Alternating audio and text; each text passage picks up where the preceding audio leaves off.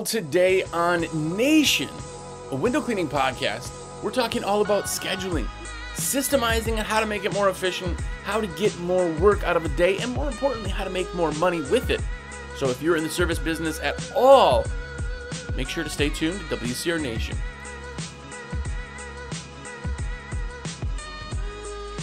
What's up, everybody? Jersey here from windowcleaner.com, and you are here. What's up? Hey, if it's your first time here, you got a lot of catching up to do. It's 200 and like, you know, 50 episodes, um, all uh, on YouTube, anywhere podcasts are. Uh, a ton. We've not missed one episode in four years. And that's a lot of content. So go back, watch everything, listen, comment, whatever. And if you are one of the OGs, if you are one of the cool kids, that means you've watched every episode and you, you know, let me put the orders in for you. Well, I just want to say thank you.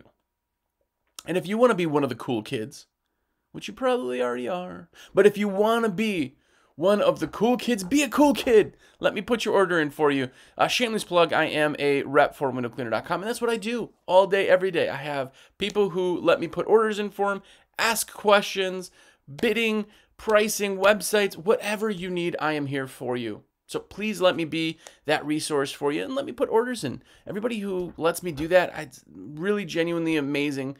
And I really want to appreciate uh, all of you just putting it out there. But I want to be your rep too. If you're new and you've not ordered through a rep, let me do that. 862 312 2026. That is a cell phone. So please, please shoot me a text. Say, yo, everything's in my cart. Put it all in there. As long as you're logged in, I can see it on my end and uh, we could build an amazing relationship. Now you got a guy. Now you got a guy.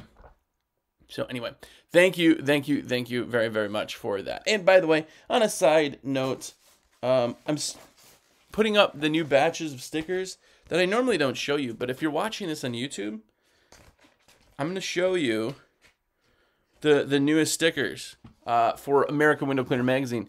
Uh, boom, there's one of them. Yes, uh, and another one. So there you go, sneak peek. But if you haven't yet, get yourself a subscription to AWC magazine. That's American Window Cleaner magazine, because why not have two shameless plugs? But this magazine is amazing. It's to your door, shipped every single month. It's all about window cleaning. There are posters, there are stickers, of course. Every single issue gets a sticker sheet, and you want to be part of the industry. You want to be one of the cool kids. Get a subscription.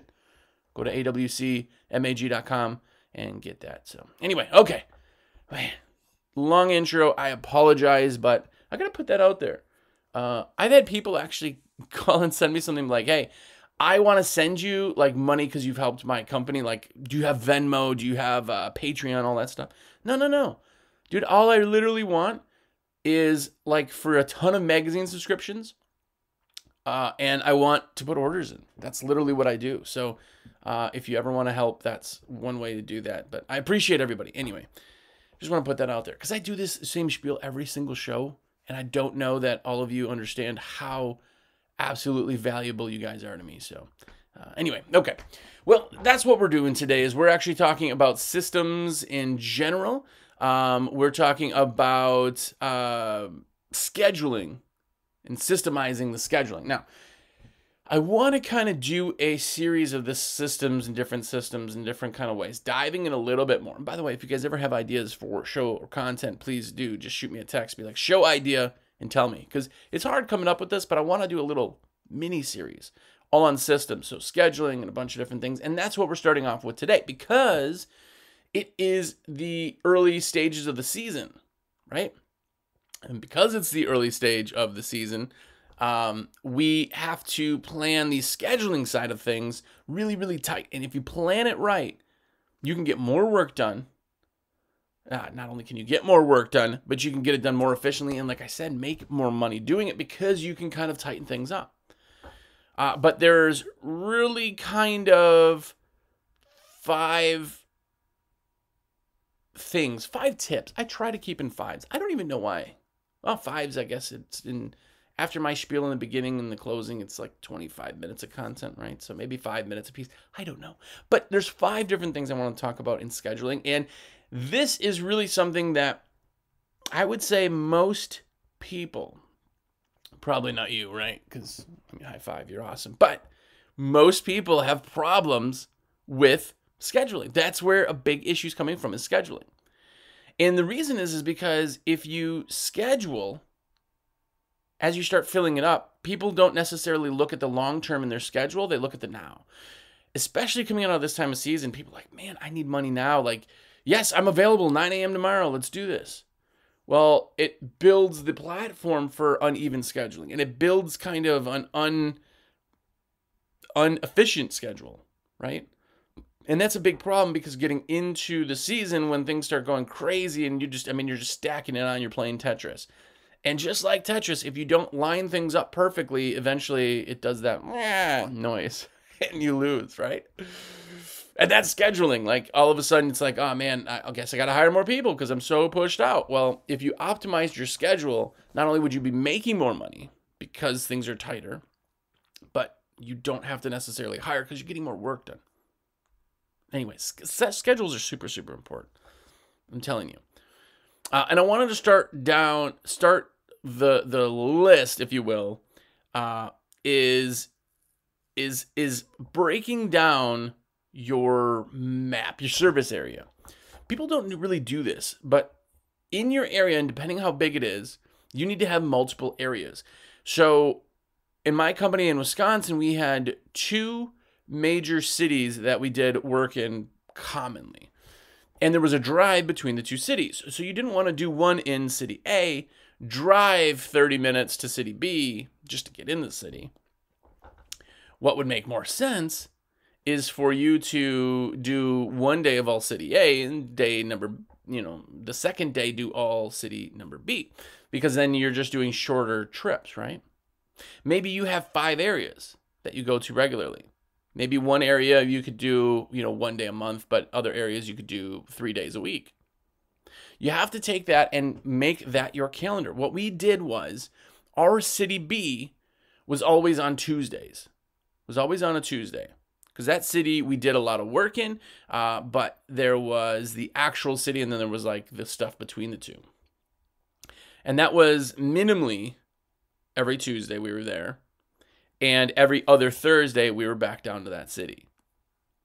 So as you can see, that wasn't our primary city, but that was how we scheduled things. So if someone called and it was in city B, I would look always on our Tuesday schedule first and if we didn't have any availability, it was the second Thursday. So it'd either be Tuesday, the following Tuesday, or the following Thursday. So all you're really doing is having that push be about a week. And again, as you fill up and things are busy, I get that things change, you know, you got to hire more people, all that fun stuff. But I would always do it that way. And so I always knew that Tuesdays were a city B. Now, if you're in a city and I don't need to drive 30 minutes between just the cities. Remember, there's one deep side, you know, which will take another 15 minutes just to get to that or through traffic or whatever. Now you're up to 45 minute drive. But just the drive between the two. And the big part of that is is if I can cut out. Now remember, for even numbers, I'm just putting these out there. It was a 30 minute drive. We ran two people in a truck for residential. So that one route, so that one truck on that Tuesday or Monday and two people driving 30 minutes. That's an hour each way. So that's in two hours of round trip time, right? That's 30 minutes per tech driving there, 30 minutes per tech driving back in the city. It's two hours, two hours, two man hours I'm paying to just drive between the things. I can get a lot of work done in two uh, man hours. I mean, I'm you're, you're talking hundreds of dollars in two man hours, right? But two man hours just to drive from job A to B and back into the normal city. Now, say I do that once, twice, three times, four times a week, and I'm driving back and forth and I'm not building that efficiency, that's two hours every single day. That's two hours every day. And if I did that every single day, at least once, because remember, you're doing a bunch of jobs in a day, right? The trucks are all over. If I do that, two man hours every day, Think of that. It's 10 hours. 10 hours a week. 10 hours a week in just drive time because I didn't build my efficiency right. Even if it's two hours.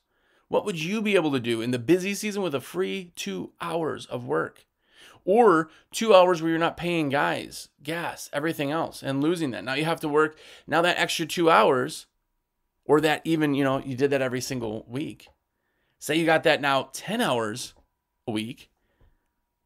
That's like a whole day. Now you're working another day. Now instead of being a week out, you're a week and a day out the next calendar you're there. You're always kicked out because you have all this inefficiencies, right?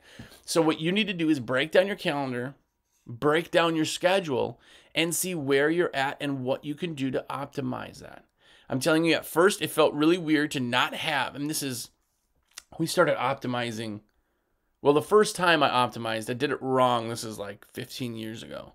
I tried, but at the time, I got lazy and we ended up unoptimizing it for another maybe two years. But when I first did it, I was like, oh, this is going to be great. The problem was going into season, I wasn't busy yet, right? And I was like everybody, where I didn't really plan that year. I didn't plan very well. Uh, we had a late year, all that stuff. So all of a sudden, I'm not working, you know, uh, Wednesday, Thursday, Friday, Monday, Tuesday, Wednesday, and scheduling them for the next Thursday. I didn't have that many days off at the time, but I was having like, oh, well, I'm not working today or tomorrow, but I have this job, this money that's just waiting for me to collect. I have it like a week away.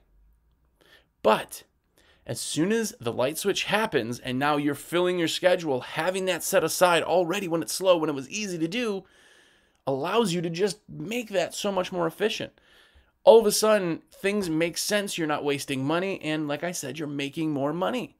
I'm not paying 10 hours worth of labor for nothing. I'm getting 10 hours worth of labor back. Think about it. You're making $100 an hour, man hour, right? Something around there. 75 to $100 a man hour. If you have 10 hours, that's $1,000 of lost income by doing just that drive once a day. Nuts. Nuts. People don't think about this stuff. This is the efficiencies, right? So let me jump off real quick. When you are at the top of your game in any sport or any craft or any hobby, there's always that thing, right? It's like, well, for, you know, twice the price, I can get this tool that is is even more precise. And you're like, well, the difference between the two is not that much, right? Or like a race car. If you have a race car and you all of a sudden, you know, change one thing from aluminum to carbon fiber, it's really expensive to do that. And it's just a minimal change. But the thing is, is that when you're so efficient, a minimal change is all you can do, and it really makes a difference, right? In the beginning, when everything is bad, these little changes don't make much sense. But as you grow, if you build that foundation really, really strong, you can build a taller tower on your foundation. If you build a really crappy foundation, which most of us do, most of us do, especially the old timers, like we didn't have anything to go by, so we just everybody was figuring it out. If you have it figured out and you're newer, or even no matter where you are now, if you start doing these efficiencies, the big thing is everything changes because of it. It's a really good one. Um, route jobs.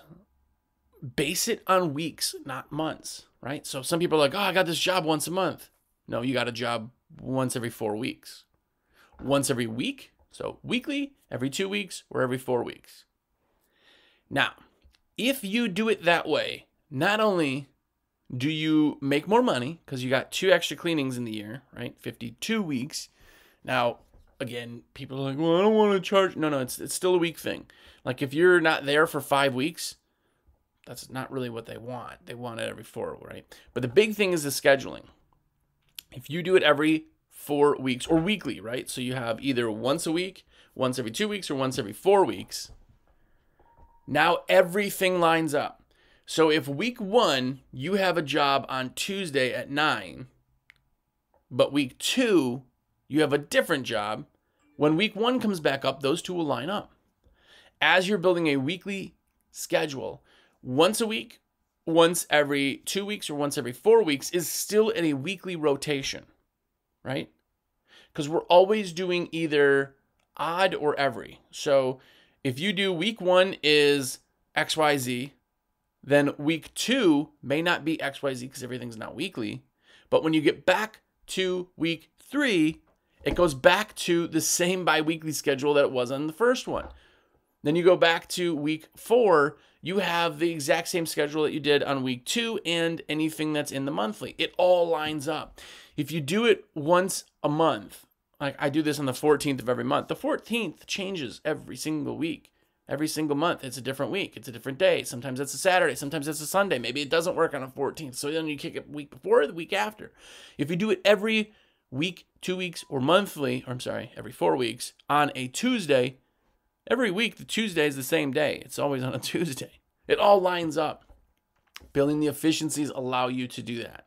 It also allows you to have route days in certain cities because they always line up. You can always put it on that one too. Now, if say every Tuesday again you're in city B for route, awesome because when you do that, no matter if it's once a week, once every 2 weeks or once every 4 weeks, if every Tuesday you're in that city, they will always line up and you will always put them on that Tuesday. Right? Remember, we're talking about efficiencies in everything and that is in scheduling. Route can be done the same way, but do it in weeks, not in the long term. So don't do it by months. If you're already doing it that way, it is not hard for you to kind of change that back around. So schedule that. Again, efficiencies, the more efficient you are, the more money you make, the less time you waste. And again, we may not think it right now, but all of us are going to be busy. Like season's kicking in. When I'm recording this, it's like middle of March, right? So season's kicking in. You need to build that foundation so you can stack stuff in. This could be the most efficient year you're ever gonna have. You know, up to this point, every year will get better, right? Another thing that you can do in your scheduling is schedule your commercial gigs every um, preseason. So hear me out. Uh, spring, busiest time of year, say, is like April, May for you in your area. What I do is I then schedule all of my commercial gigs, right? Those are the ones that get done every six months, once a year, that type of thing. Every six months, don't go once a year. But some of them, you know, no matter how good you are, maybe you can't get them into every six months, right? But what happens is is I fill the preseason with these big jobs because big jobs will suck up a whole day, two days, maybe a week. And I can do those jobs. They don't care timing, but I'm going to do it before I get busy, which gives me big income coming in. And I'm also not ending one thing to, you know, um, spend it somewhere else. The preseason, I'm getting ready. I'm getting ganged up. I'm, I'm, I've got new guys hired. Guess what? Now they got a big deal, a big job to deal with uh, all off season on the on the on the season itself. So now you have the option to train people. You have the option to make a big chunk of money, influx your company with cash. Because remember, they're going to give you 30 day time, 60 day if it really sucks, right? Hopefully they pay right away. But all those is timing, schedule, everything. So when I say a lot of times everything has its place in scheduling, in jobs, I like residential for the busy time of year frequency, big jobs, big money, nice. But then I fill the other spaces with the frequency of route, right? Route is all year round. Doesn't matter. Doesn't matter if it's raining, snowing, slow, busy, doesn't matter, right? And then my preseason times when I'm ramping up, I throw in my commercial. Now I got time for everything, right? A big issue is that people don't understand that with a company, the schedule is up to you. This is your company, literally. People are so apprehensive to be the one who knows what their company is and to kind of be the person that says it. And that's a big problem, right? So, what you need to do is be the person, be like, hey, uh, somebody schedules it right now. Awesome. Well, we will get your first service in uh, in um, you know uh, August uh, thirteenth. Uh, that'll be the first first cleaning. Oh, is you don't have anything sooner? Well, we can get you in now, but that August is going to be your normal route. So we can do it now and then uh, do it again in August. That'll get you back on your normal rotation of every six months. Does that does that work for you? We can get this done, you know, if you have the time. We can get this done. Fill in the blanks here, here, and here. Yeah, absolutely. Well, guess what? Now I'm getting two services back on the rotation. It's on my schedule. My schedule, right? A lot of times people are not, they're so worried to not upset someone when the reality is, is that it's your business. You can't go to uh, anywhere, you know, um, uh, store, be like, oh, this is really good. Yeah. Um, I will go ahead and uh, pick up this car now today, and uh, yeah, uh, I'm gonna pay you ten thousand less. They're gonna be like, uh, no, the there's a wait on the car, like you know, it's a six month build time, and no, you can't. You know, unfortunately, we don't have any sales. Well, nobody's like, well then, oh, like they don't even ask, right? So don't think that you are beyond that as far as what you're doing. You're scheduling and making your company work, right? commercial preseason. Super, super valuable. Um, when is it slow for you? Find out when the slow time is for your schedule in your area and fill it with residential discounted. So, residential discounted is where somebody calls you in the middle of busy season and like, hey, I want this done. Your prices are high, right? hey, uh, here's the price. Oh man, yeah, it's a little bit more than I want to do. Or uh, yeah, we can. I'm gonna search around for. Hey, not a problem. You know what? I'd love to uh, earn your business. Listen, right now is our busy season, so peak pricing, peak timing, peak everything. If you can wait until July 14th, I can actually take off another $50 because that's our slower season, so there's not going to be this high demand. Uh, it'd still be a nine between nine and ten a.m. Uh, appointment if that works for you. If you're not in a big rush. A lot of times you can save a sale, save a customer by doing that. Oh yeah, know, I, this isn't a rush, right? Sometimes people just need the fifty dollars off more than they need the timing. And now people are going to come in and be like, I don't discount anything I do because I don't discount my work. It doesn't. All right, if you're on a high horse about that, listen, these are suggestions. I'm not on that high horse. I am under the complete understanding that I know my services don't change, but being a luxury, I am charging so much money that there is margin if I need to. And what that does is it helps the customer, it doesn't lose them, it doesn't give somebody else market share, and it fills the slow time where you're not going to be doing much anyway. If the middle of July is your slow time, your dog days, right? What are you going to do? Would you rather make $0 or $50 less than normal? You're not taking away money out of yourself. You're still getting that job, right? I know we've always talked about building value, don't discount prices, all that fun stuff. That's when you're talking busy season. When you're talking about, I got, you know, 30 people calling me in one day and one person says I'm too expensive, it's not going to hit me like if one person calls me in a day and that one person says I'm too expensive. Because I am. I'm not really worried about being expensive. If I'm too expensive, I haven't told you my value, right? But if I've told you my value and they say, hey, you know what, I'm just, it's just a dollar thing and just a lot more out of that, I'd love to give you a shot. I see all the value you're adding. But for me, my luxury service, I need a little bit less. Fill it, work it for you, just like they're getting a work for themselves, right? Fill that schedule. Remember, you are the gatekeeper. You're the one who gets to fill your schedule, either good or bad. Find ways to fill the pockets. Wait, think of this. This doesn't work unless you're a 100% route guy, and if you are, awesome. But think about if you could just do like 35, 40 hours a week. That's just guaranteed every week, 40 hours. Nine to five every week, every day. I mean, you would know that in the middle of winter, you're going to be making X amount. You could plan on it. You could schedule things with it. You could just make that so much easier, but that's not the way that we work, right? Summers we're working 50 hours a week, winters we're working 16, you know.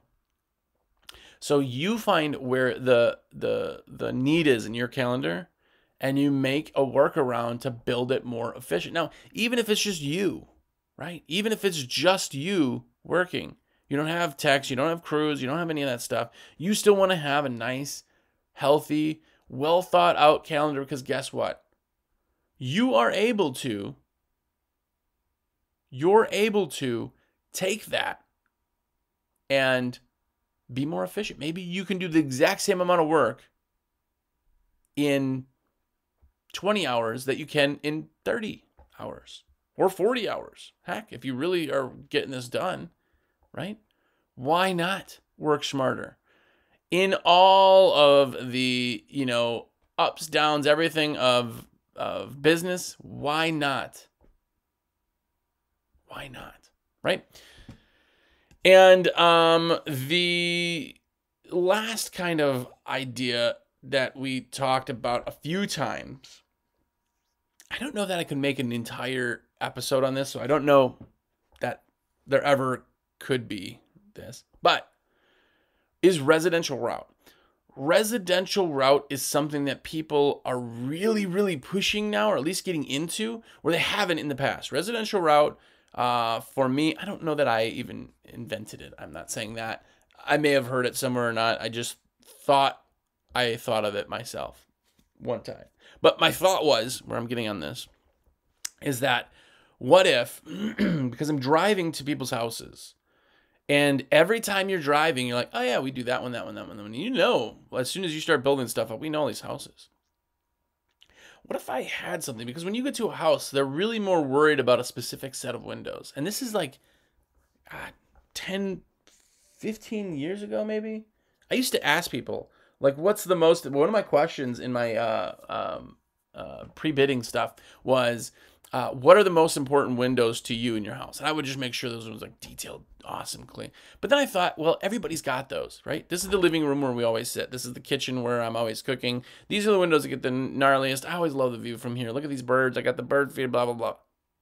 What if, what if I could make it make sense to char- charge you 20 bucks a week, every two weeks, whatever, and I come and just do the outs of five windows for you, or whatever the dollars translates to, right? Depending on routes that I do, there's certain neighborhoods I'm in, like literally, we have a truck in there every every day. They're big neighborhoods. If somebody in that said that for 20 bucks for five windows, 100% I'd do it. I'm going to be driving literally past, hop out, five windows, takes two seconds, get in. Boom. Auto drafting, I'm making $80 a month on them. And I'm still scheduling all the big cleanings right? Residential route can fill those pockets, but it takes just like regular route time to build up the route. You know, that is part of the, I don't even want to say headache, but part of the growing pains of route in general, residential or regular route. It's the time it takes to build it to something, right? So that part's super, super uh, important to build, but there's a place for it, right? And we talk now about five different things in five different aspects of scheduling that you can make more money, you can work more efficiently, you can pay out more efficiently, and potentially even fill more things in. I've just helped your schedule. You got scheduling issues, you got hiring issues. Work on what you have. Hiring sucks. ABH. Always be hiring. But as things go, there's always times you lose grasp a little bit. Bringing back in your schedule makes it tighter, makes it more efficient, and you're going to be just happier, make more money. Yeah. So do that. You know what else you should do? You should call me or text me. More importantly, text me. I'm on the phone all day. So text me. If you text, be like, yo, Jersey, everything's in my cart. Put it in your cart. I would love that. Love that. You guys are absolutely amazing, man. I I uh I genuinely, genuinely appreciate everybody who lets me put the orders in. Even if they're small orders, they're big orders, we ship free over 49. You know how many $50 orders I put in? A ton. And it's amazing. It's what I do. It costs you nothing extra, but it gives me credit. And it's like, hey, yeah, I I helped I helped someone today. That's what you can think. You helped me. You helped me buy hair gel for my hair. I guess everybody always brings that up. Apparently, it's actually wax or putty, but anyway, maybe that's what you want to do. Um, so do that 862 312 2026. That's my cell phone. Just save it now. Save it now. When you need something, text me. People even text me at like 12 at night. depending on what coast they're in, be like, yo, Jersey, everything's in my cart. When you wake up, put it in. It's like hitting go, but yet you're helping me, and it's absolutely awesome. And now you got a guy. You're one of the cool kids. Everybody wants to be a cool kid, right? I I do. Self vindication, I guess. Uh, but again, American Window Cleaner magazine. By the way, this is how it comes in a uh, plastic uh, slip. Inside of here is stickers, sticker sheet. There's also a poster in every issue. It's the centerfold, actually. If you want a poster, I just think it's cool. I just think that we built something. Look behind me. This is all window cleaning stickers. I mean, there's a stack ladder sticker. Where is it? There. Like, I don't know. It's just super cool to me that we built a culture. I love being part of it. Uh, I love being proud of what we do because we've created this. We've literally created this industry and we've created cool kids out there in this industry. People are wearing swag and inside joke stuff and magazines. You know many people uh, submit pictures to be printed in the magazine? People are so proud of what we do and it's amazing. It's amazing. That's one of the things American Window Cleaner magazine really does. It's like it's built a culture. The magazine's been around since 86, 1986. And it's changed and changed and changed. When I bought it, I changed the whole format, style, stickers, culture, and we've more than tripled, tripled the subscriber count, which is phenomenal. But I want you. I want you to be part of this too. So go awcmag.com, get the subscription. Man, shameless plugs are taking me a while today. I apologize. But either way, go out there and fix your schedule. But more importantly, be epic.